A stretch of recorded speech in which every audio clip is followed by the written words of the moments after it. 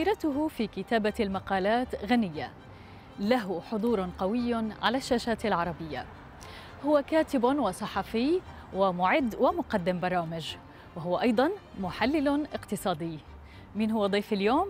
خلونا نتعرف عليه سوا. سلام سرحان. ولد في مدينة الرمادي عام 1961 درس في بغداد وحصل على بكالوريوس اقتصاد من جامعة المستنصرية عام 1984 هو كاتب وصحفي وإعلامي بارز له ثلاثة دواوين شعرية. عمل في أبرز الصحف العربية في بريطانيا ونشر أكثر من ألف مقالة باللغتين العربية والإنجليزية في مواضيع مختلفة تشمل الآداب والسياسة والتكنولوجيا والاقتصاد والأعمال.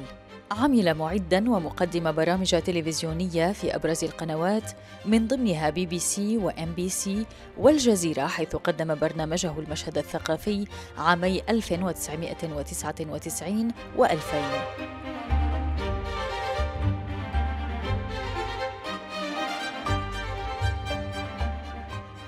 سلام سرحان. آه، مسيرتك الإعلامية طويلة. وغنية آه، كاتب مقالات آه، محرر أخبار مراسل معد مقدم برامج مليئة بمختلف المجالات. كيف بدأت العمل الصحفي؟ العمل الصحفي بدأ يعني بحثا عن أسباب الحياة. يعني واحد موجود في مكان معين بدأ في بريطانيا طبعا. في العراق كنا يعني بالكاد خلصنا الجامعة ودخلنا الجيش وخرجنا من الجيش ورا شهر. بدأت حرب أخرى. فأنا خرجت من العراق وحين وصلت إلى لندن. أول عمل وصلت في نهاية العام 91 1991 مباشرة بدأت العمل كمصحح لغوي وهي أفضل وظيفة يبدأ بها من يريد أن يعمل حتى ليس فقط في المجال الصحفي بل حتى في مجال الكتابة. لأنها تمتن كل الجانب الفني من الكتابة، الفواصل طول الجملة حتى انسجام الجملة مع النفس. فيعني إذا آه، بعضهم يكتب جملة مئة كلمة، هل تعلمين أن القراءة قراءة جملة طويلة يقطع نفس القارئ. فهذه كانت البداية وبسرعة انتقلت آه، عملت في البي بي سي وبعدين في الام بي سي كمراسل ويعني معد نشرات إخبارية. وثم انتقلت إلى الجزيرة في التسعينات حين كانت يعني آه، القناة الفضائية الوحيدة. وقدمت برنامج هو المشهد الثقافي. ثم أخذتني دروب الحياة إلى أن أكون محلل أسواق المال العالمية. و محرر اقتصادي. آه، لدي يمكن ما يزيد على ألف مقالة في الاقتصاد. آه، في في المحصلة النهائية ما يهمها هو أن هناك خفضا بمليون برميل. آه، الأسعار وصلت التراجع وكأنها تقول لأوبك هذا هو ما تعتقده الأسواق فما أنتم فاعلون غطيت مجالات مختلفة كما ذكرت حضرتك يعني حتى من ضمنها خاصة كتابة المقالات كان في من ضمنها عدا عن السياسة والاقتصاد عن التراث عن النقد الفني النقد بشكل عام أي هذه المجالات كانت تحدياتها أكبر وليش؟ آه، طبعا هو آه، يعني الجانب الأدبي من الكتابة هذا شخصي وربما فيه آه، ذخيرة شخصية للكتابة لكن الأشياء الأخرى هي العمل. يعني مثلا من أقرب الأشياء لدي عشرات المقالات الرؤيوية الطويلة عن مستقبل التكنولوجيا بس بطريقة وجودية وبطريقة أدبية وبطريقة علمية دقيقة. يعني وين راح يكون العالم آه، مستقبلا؟ آه، كيف الواقع الافتراضي آه، والمعزز؟ نحن الآن على مشارف هزه أخرى كبرى في نسيج مجتمع البشرية حين تبدأ نظارات الواقع الافتراضي التي الآن فقط بدأت بشكل جدي مع نظارة أبل الجديدة. وهذه أول جيل مثل أول جيل من من التليفونات الذكية. ستأتي أجيال أخرى تقلب علاقتنا بالحياة كلها. أستاذ سلام آه، مقل بالشعر كما ذكرت قبل قليل آه، لكن لا يمكن أن نتجاهل أنك شاعر. آه، كيف بدأت رحلة تذوقك للشعر؟ متى بأي عمر؟ طبعا تذوق الشعر هو يعني ممتد إلى تذوق الجمال لكن بدايتي كانت شبه يعني دعابة مع صديق. يعني كان أقرب أقرب صديق لي في مرحلة الابتدائية والثانوية وهو كان شاعر المدرسة وشاعر المحافظة وشاعر فأنا أحد المرات يعني دائما عندما يكتب يريني ما يكتبه. فقلت له هذه قصيدة يعني ضعيفة وأنا أستطيع أن أكتب أحسن منها. على سبيل المزاح فتحداني فكتبت بنفس اليوم قصيدة أصبحت يعني بداية قصيدة عمودية و وأقحمت في برنامج المدرسة وبرنامج المحافظة وفازت. ف آه، يعني آه، دخول مفاجئ وسريع. طيب أعود للدواوين. الديوان الأول كان في هدم الأسئلة. من هو هادم الأسئلة؟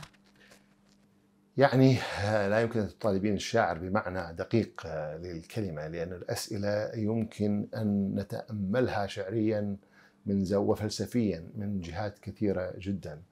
آه، مشاكسة وجودية وشخصية وفيها آه، يعني اشتغال على اللغة واسع جدا.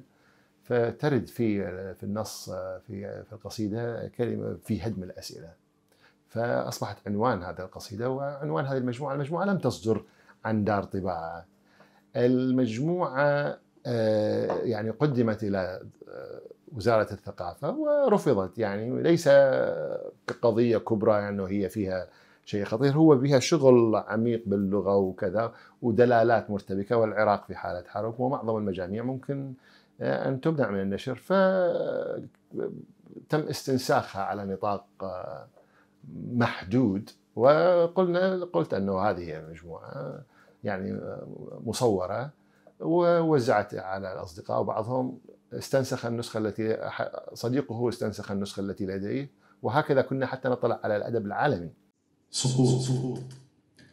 لم تعد وحيدا كي تذهب أو تعود أو تقول إني هنا. استدرجك الآخرون إلى المصنع الثقيل. أصبحت قاسيا. وستكسر وتنكسر أيضا. الديوان الثاني كان فضاء الرغبة. شو حبيت توصل من خلاله؟ يعني أكثر شيء يعني, يعني أنا آه، بالنسبة لي الشعر هو يعني محاولة لتوسيع الحدود الضيقة اللي تحاصرنا. يعني كل ما حاولنا يشير إلى أننا كائنات محدودة نتعب وكذا آه، وحركتنا محدودة وكل شيء. فالشعر يوسع هذه يعني يخربش على جدار العدم. فنصوصي آه، خاصة بعد المجموعة الأولى أصبحت قصيرة جدا وكل نص هو لقطة وجودية. ففضاء الرغبة أيضا يعني يعني ليس عنوانا جيدا بالنسبة يعني يمكن لا ينتمي إلى عالمي كثيرا ولكن في تلك اللحظة آه، كان عنوان المجموعة وهو عبارة عن الفضاء الأوسع آه، للرغبة. آه، هذا كان العنوان وهي عبارة عن قصائد قصيرة جدا كل قصيدة هي عدة أشطر. هي فقط يعني لا توجد صورة صورتين شعريتين أو ثلاثة أو أربعة في كل قصيدة. هي فكرة وجودية واحدة سواء كانت في أربعة أشطر أو في سبعة أشطر أو ثمانية. وديوان سلام سرحان ليش تسمى باسم حضرتك؟ يعني سألني أحد الأصدقاء كيف يعني تكتب ديوان عنوانه سلام سرحان؟ قلت له يعني لو اسمي آه، اسم آخر تقليدي كان ممكن أخليه يعني مهما كان الاسم جميل يعني. فقلت له لكن اسمي جملة مفيدة سلام سرحان. ف وهو أنا أكتب نفسي. ف صدر يعني ويمكن مجموعتي المقبلة تكون سلام سرحان جدا. لدى حضرتك مبادرة؟ آه، بالمجلس الأوروبي صارت مشروع قرار باتجاه أنها تكون معاهدة دولية. ممكن تحكي لنا عليها؟ آه، أنا لم أطلق مبادرة أنا كتبت مقال يعني فهمي أنا يعني عراقي وأنظر للشرق الأوسط والعراق وكل حتى أوروبا. يعني الدين والسياسة هو أقدم وأكبر مشكلة في تاريخ البشرية. فخطر في بالي ذات يوم أنه الحل هو لازم يكون معاهدة دولية. يعني إذا كل سكان العراق أو كل سكان بريطانيا ينصحون الناس بعدم السرقة هذا لا يكفي. تريدين قانون لمنع السرقة. فأنا كتبت مقالة أن العالم ليس بحاجة لفصل الدين عن السياسة ولا بحاجة للعلمانية ولا ب... وهذا كله فقط يعطي ذخيرة للمتطرفين. كل هذا العمل ملايين يحاولون فصل الدين عن السياسة وينادون بالعلمانية. كل النتيجة الوحيدة لعملهم هو إعطاء ذخيرة للمتطرفين. فأنا قلت يعني بكل بساطة الكل أكثر المتطرفين يقولون أنه لا يستخدمون الدين في تمييز أو في كذا أو في كذا. طيب لنجعلها معاهدة دولية. معاهدة دولية لحظر استخدام الاستخدام السياسي للدين وليس استخدام الدين في السياسة. استخدمي الدين في السياسة براحتك حسب البلد. يعني ربما ألمانيا لا تستخدمه كثيرا المغرب يستخدمه أكثر السعودية الهند أي بلد آخر براحته. لكن على أن لا يستخدم في انتهاك المساواة أو التمييز في الحقوق والواجبات وحظر الإقصاء الديني وحظر أي تقييد لحرية الاعتقاد والعبادة. هذه المبادئ هي كل المشكلة تحول كل دول العالم إلى فعندما نشرت المقالة نشرت على تويتر على نطاق واسع جدا واتصلوا بي سياسيين وقالوا واو كيف هذه الفكرة؟ يعني لم تخطر ببال أحد. فأجبرت على أن يعني أن أسجل منظمة غير حكومية وبدأت الآن لدينا تأييد في أكثر من 80 دولة. ولدينا حوار مع أكثر من 20 حكومة بينها حكومات عربية. يعني ربما دبلوماسيا لا يمكن أن أذكر أنه الدولة الفلانية أو وزير الخارجية لأنه آه، لضرورات دبلوماسية.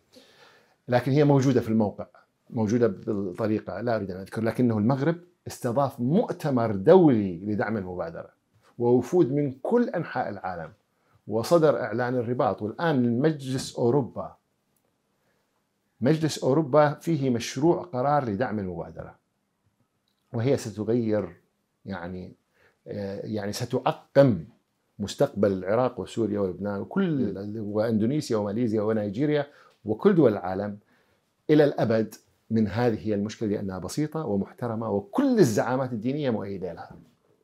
بل حتى إذا وضعتها في وجه طالبان لن تستطيع طالبان أن تقول لا لا لا نحن نريد أن نستخدم الدين في التمييز في الحقوق والواجبات.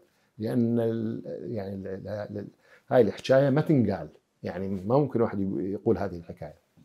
ضمن هاي المشاغل آه، علاقتك خاصة جدا مع بنتك ساي. آه، احكي لنا عن علاقتك بها آه، يعني هي بنتي الوحيدة وأنا بطبعي مهتم جدا بكل تفصيل في حياتي باحتفاء واحتفال دائم.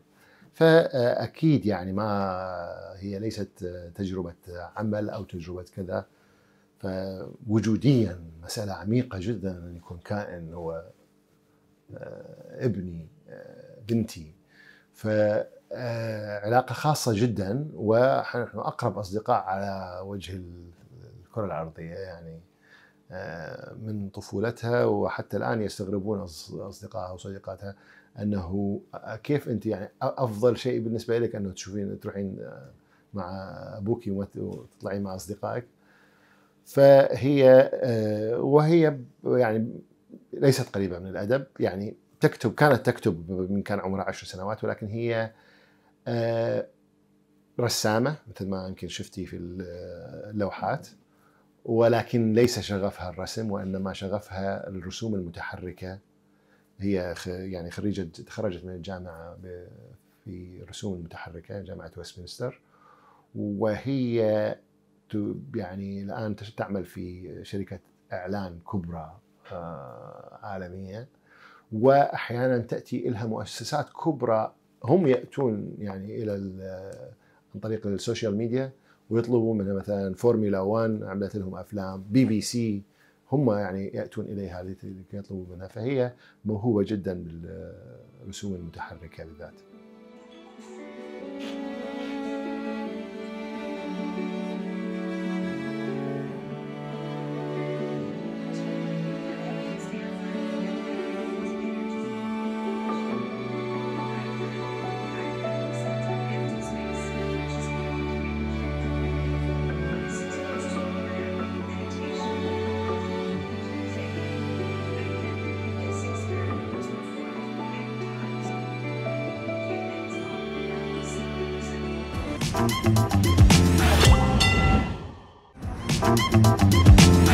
بريطانيا من أي سنة؟ قبل أيام اكتشفت أنه أنا عشت في لندن أكثر مما عشت في العراق. آه، صار لي في لندن 32 سنة وأنا غادرت العراق عمري 30 سنة وعندك الحساب. طيب آه، بعض الناس تتولد عندها مشاعر غربة آه، ممكن الغربة تخلق شاعر أو تخلي الواحد يكتب شعر؟ اولا أنا ما أعرف شو الغربة. أنا آه، يعني أحتفي وأنسجم مع الحياة في أي مكان آه، يعني حتى إذا كانت هناك مشكلة فأتعامل مع هذه المشكلة كأمر واقع وأحتفي بتلك المشكلة أيضا. فما أعرف الغربة وأيضا المواضيع لا تخلق آه، إبداع، لا تخلق شعر ولا تخلق رواية ولا تخلق أي شيء. الشغف والحماس الشديد والهوس بالموضوع هو اللي يخلق الإبداع. طيب آه، لو حبيت توصف آه، لندن بكلمة أو جملة وبغداد كمان شو ممكن توصفهم؟ آه، لندن عاصمة العالم. آه، بغداد آه، سفيرة التاريخ التائهة. آه، لندن هي أكثر مدينة عالمية على الإطلاق. أنا كتبت مقالة مرة قبل 25 26 سنة. قلت أنه لا يمكن لأي مدينة أن تصبح مثل لندن حتى لو بعد 4000 سنة. يعني قصدي عالمية بغداد ستبقى عراقية وستدافع عن عراقيتها. باريس أيضا طوكيو كل مدن العالم حتى مانشستر أو برايتون في بريطانيا. لندن هي الوحيدة التي أصبحت مدينة عالمية. كل من يسكن فيها هي مدينته. لا يوجد أحد يزعم أنها مدينته والآخر, والآخر ليس مدينته آه، أستاذ سلام تصف نفسك بالمتفرج بالشعر وكشخص دائما تصف نفسك بالمتفرج. شو يعني متفرج؟ يعني أنا أنظر يعني لست جزءا من اللعبة من المستوى العميق للعبة. لا أدخل اللعبة. أنا يعني مشغول بكل شيء وأتفاعل مع كل شيء ولكن لا أسمح لها أن تطحن قلبي أو عقلي بطريقة زائده وأنظر بهدوء. يعني آه، أحيانا يستغرب البعض أنه أنا على الحياد التام في قضايا كبرى آه، أستطيع أن أنظر إلها بحياد تام. وكذلك حتى آه، بالشعر وبالادب هناك نظرة يعني أن أن أن تكون هناك مسافة بينك وبين العالم. هذه مسافتك الشخصية. لا تسمحين للعالم أن يضربك أو يدفعك وإنما هناك مسافة بيني وبين العالم. طيب متى تشعر أن سلام الصحفي يتدخل بالكتابة الأدبية؟ أم هو بعيد؟ آه لا هذه مستوى الحرفة.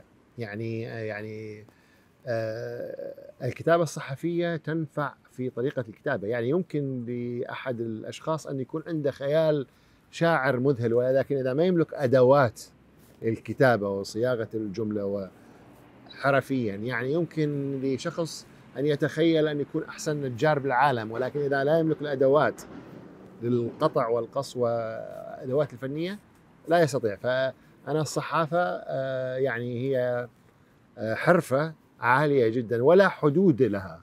يعني يمكن مهما كانت مهارتك ممكن آه، تزداد هذه المهارة. فأنا آه، محترف كصحفي. وهذا ينعكس على الكتابة الأدبية مقالاتي أو حتى آه، الرواية المقبلة حتى في الشعر لا توجد كلمة زائدة. لا لا يمكن أن أن تكون هناك كلمة زائدة لا في الشعر ولا في الرواية.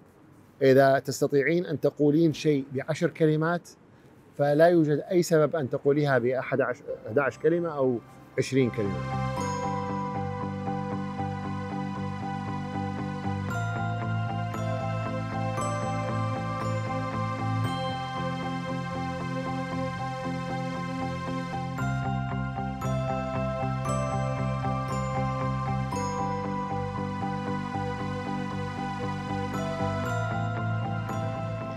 أستاذ سلام آه، شو تتذكر من الرمادي؟ أنا لست شخص حنين وبكاء على الأطلال أو كذا الطفولة عادية يعني في أي مدينة سواء في الناصرية أو في الموصل أو في البصرة آه، أبي موظف حكومي آه، يعني مهني كان في خزينة المحافظة ومن أعيان المدينة وطفولة مريحة ولدي إخوة وأخوات كثر يعني عشرة ثمانية أخوة وأختين. وطفولة يعني أنا منسجم مع حياتي ولا أريد أن أذكر يعني ما لا يوجد ما هو علامة فارقة عنها. زرت العراق بالألف أو بعد ال 2003 كيف كانت زيارة؟ وشو كانت توقعاتك؟ زرت العراق قبل الحرب وزرت العراق عام 2012 يعني لا لا توجد لدي توقعات. أنا منذ البداية كنت أدرك أنه الاحتلال أو حتى الثورات ستؤدي إلى زلزال في نسيج المجتمع وإلى فرهود في الوظائف والمناصب وخروج المهنية. الكل كان لا يصدقني. كنت أقول لا تتوقعون أن يستقر العراق خلال سنة أو سنتين أو عشرة. والآن بدأ ملامح أولية بأن لأن هناك أصبحت قوى تدافع عن الدولة فالآن فقط بدأ يستقر العراق. بالشعر آه، وصفت مرة الوطن بالمفترس ومرة بالأوهام. أيهما هو بالنسبة لك اليوم؟ لا هو آه، كل إنسان على هذا الكوكب يحب الوطن. يعني العراقيون لا يحبون الوطن أكثر من الصومالي والنيجيري وال... ومهما كان الوطن بسيط وبلا تاريخ ولا فكيف إذا الوطن هو الذي يعني آه، ابتكر الكتابة وأول حضارة في التاريخ. ف فهي تأمل آه، شعري وخاصة كان في فترة آه، أعتقد سيطرة داعش أو كذا أو هاي فهو نص أعتقد موجود أمامي هنا. يعني يقول حين تسقط في لعبة محكمة. دون خطأ أو قصد في فك وطن مفترس. سقط عنوة في فك التاريخ. خلص نفسك أولا. انزع قلبك. ضعه في مكان دافئ. والبس قفازات محكمة لتخنق أوهامه القاتلة. أه، هل تغيرت برأيك أه، صفات أو سمات الثقافة آه، بالأجيال من الجيل القديم لليوم أو هي ظلت كما هي؟ لا هي تتغير باستمرار ودائما هناك آه، من يبكون على مستقبل الثقافة وهي في حال جيد هذا على مر التاريخ. يعني الجيل الستيني يقول على الجيل السبعيني انظروا كيف والسبعيني ينظروا للثمانينات وستستمر الأمر آه، إلى الأبد. الثقافة حيوية ولكن هي جزء من صحة المجتمع. يعني المجتمع البريطاني آه، صحي وكذا فالصحافة لا تقبل آه، أي شخص وينبغي أن تكون هناك معايير عالية لقبول المقال أو لقبول آه، الكاتب فهي انعكاس لصحة المجتمع طيب مفهوم الحرية برأيك شو هو؟ الحرية داخلية يعني أنت عندما تلتقين بشخص تشعرين بدون كلمات أنه حجم الحرية الداخلية اللي عنده. حجم القيود وال يعني كم هو مصنع كم هو يعني صنعته آه، المصانع الثقيلة. وأصبح هذا صح وهذا غلط وهذا كذا وهناك أساطير وهناك خرافات وهناك كذا وهناك حدود عقائد وكذا. الحرية داخلية فقط يعني هي أولا وأخيرا داخلية.